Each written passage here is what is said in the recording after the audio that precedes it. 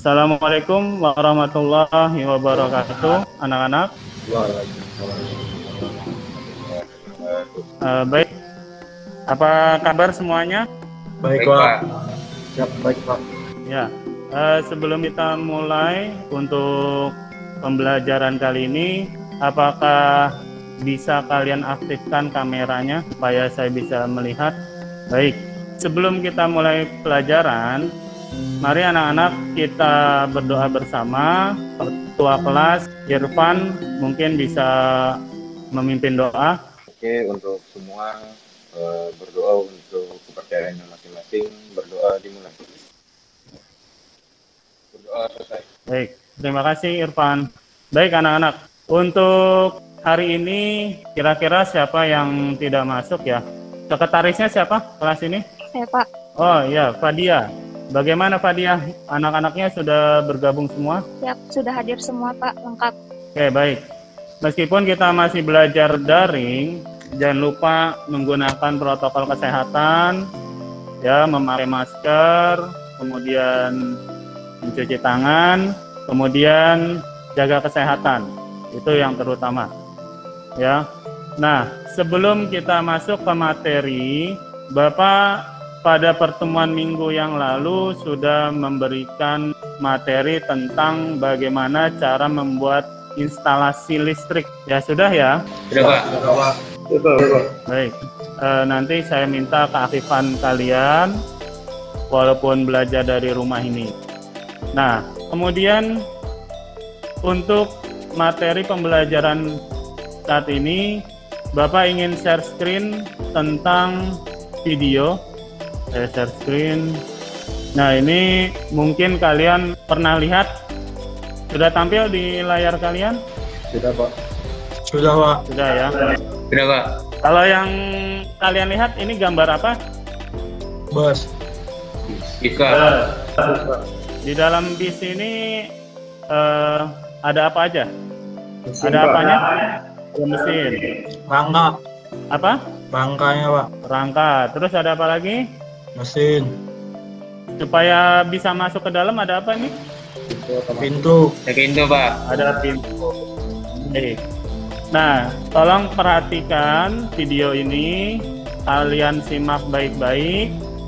Kemudian nanti di sini membahas tentang materi instalasi listrik sistem kontrol. Nah, yang akan Bapak bahas kali ini sistem instalasi sistem kontrol pada sebuah uh, pintu otomatis bis. Nah, mungkin kalau di Jakarta kalian pernah sering lihat ya di mobil apa itu? Jakarta Pak. Transjakarta Pak. Transjakarta Pak. Di Transjakarta. Selain di trans mobil Transjakartanya di apa lagi? Di kereta Pak. Kereta Pak. Iya Ya, di kereta kereta MRT. Oke, perhatikan sistem kerjanya pada video berikut ini. Nanti kalian bisa menarik kesimpulan ya. Siapkan pulpen, kemudian kertas buku catatan untuk mencari apa saja komponen yang dibutuhkan. Perhatikan.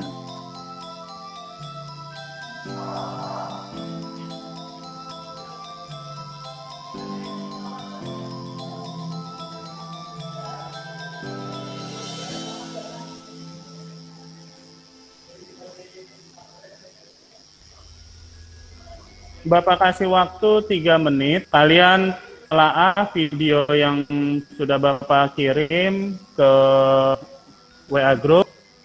Yang pertama, kalau pada sistem motor e, mobil tadi itu menggunakan sistem apa? Kemudian yang kedua, komponen apa saja yang digunakan pada sistem penggerak pintu mobil otomatis?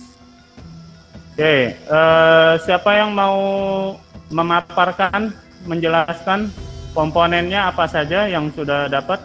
Andika? Saya aja, Pak. Siap, Floranius silakan.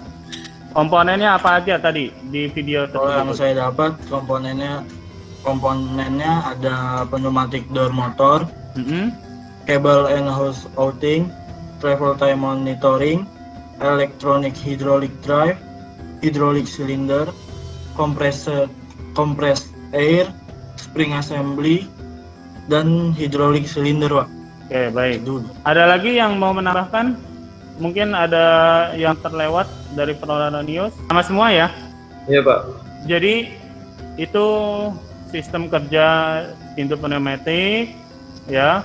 Nah, komponen-komponennya banyak sekali. Kalian bisa searching nanti di internet ataupun di e-book yang tadi Bapak sudah kirim melalui eh, WA group ya. Jadi kalian baca untuk menambah wawasan kalian. Oke, di sini apakah ada yang merasa kesulitan di dalam membuat rangkaian fleet sim? Tidak, Pak. Tidak. Baik. Nah, ini sedikit gambaran. Bapak mau eh, tampilkan lagi seperti apa sih fleet sim? Oke, perhatikan di sini Bapak mau tampilkan lagi video. Oh ya. Nanti di dalam pembelajaran kita kali ini kita akan mengerjakan lembar kerja peserta didik. Di sini ada LKPD. Nanti Bapak kirim ke grup WA. Siap sudah Pak. Sudah, Pak. Oke. Nah, di sini kelas kalian tulis semester, kemudian nama siswa, nama kalian masing-masing. Walaupun nanti berkelompok, tetap LKPD ini dikumpulkan perorangan. Kita kirim ke GCR. Ya. Sebelum Bapak memberikan tugas, perhatikan di sini kompetensi dasar yang akan kita pahami. Yang pertama menerapkan pembuatan instalasi listrik dengan menggunakan software aplikasi. Nah, indikatornya menentukan komponen instalasi listrik dengan menggunakan software aplikasi. Kemudian yang kedua, menugaskan pembuatan instalasi listrik dengan menggunakan software aplikasi. Kemudian keterampilannya membuat gambar instalasi listrik dengan menggunakan software aplikasi FleetSim. Kemudian membuat gambar instalasi listrik dengan menggunakan software aplikasi. Kemudian mensimulasikan gambar instalasi listrik dengan FleetSim. Untuk kelompok 1 tetap di Google Meet ini ya untuk saling diskusi. Untuk di kelompok 2 saya buatkan dulu link Zoom-nya. Jadi biar semuanya terpantau. Kemarin Bapak sudah bagi ya nama-nama kelompoknya. Siap sudah Pak. Bapak bacakan lagi nama-namanya. Kelompok 1 Anissa, Andika, Floranius, Henry. Kelompok 2 Fadia, Irfan, Titus, Raihan. Oke, silakan saling bekerja sama untuk kerjakan LKPD yang Bapak share tadi di grup WhatsApp Ayo guys, pakai apa aja? berdiskusi. Yang tadi sih ada relaynya itu. Pakai relay ya? Iya, itu tuh relay itu. Iya. Yang paling pinggir. Nah, ya. Terus pakai ya? Kelompok 2 silakan. atasnya jangan lupa tuh pakai power supply iya sama pakai Pakai switch ya sih? iya pakai Ya, switch switch-nya ada tiga.